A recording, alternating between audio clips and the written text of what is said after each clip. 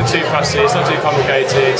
It's using suppliers that we felt we should use. You know, we've got fantastic beef in this country, so we use one of the best beef suppliers in the country. We've got amazing cheese, so we use Great Somerset cheese.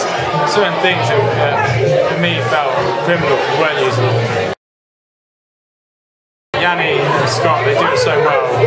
It wasn't something we wanted to replicate or try to replicate as I think you agree quite a few people have. We wanted to do something different.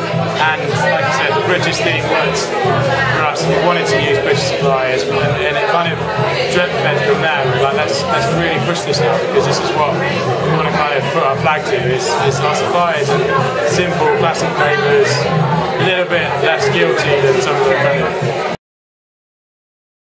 Still the, the many development for, for us. And if I'm doing a new special, I might start with that many ingredients and I'll keep going. I'll keep eating it over and over again until you can until you can only I'll, I'll strip it right back to only keep in the burger what you can taste.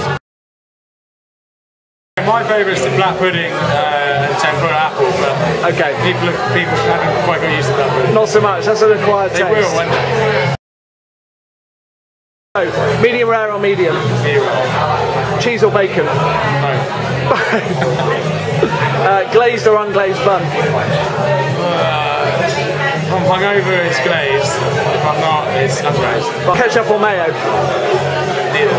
Neither. Mustard or onion relish? Relish. Obviously, relish. And relish.